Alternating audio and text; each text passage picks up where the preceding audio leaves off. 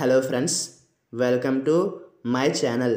ఈరోజు పడినంటే వైడ్ దీని తెలుగులో వెడల్పు అని అంటారు. దీని definition of great or more than average width అంటే తెలుగులో గొప్ప లేదా సగటు వెడల్పు కంటే ఎక్కువ.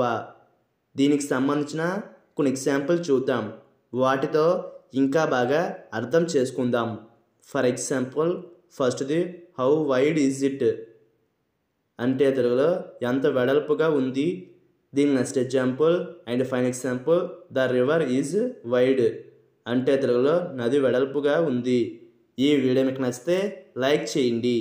మరిన్ని వీడియోల కోసం మా ఛానల్ని సబ్స్క్రైబ్ చేసుకోండి. Thank you friends